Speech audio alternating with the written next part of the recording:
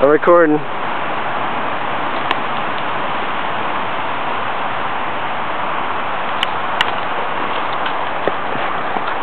Oh, fuck it, I want to hear it. Wait, just stay. Okay, you recording? Yeah. Kaboom.